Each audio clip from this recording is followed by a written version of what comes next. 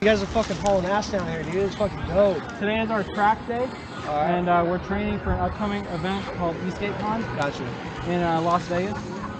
Oh, you guys hear that? So- Las Vegas? That's fucking rad, It's a yo. good time. We're about to start doing some timed laps, so it's Nice. gonna be some cool stuff going on. Nice. What's your name? Matthew, Matthew. I'm Ryan.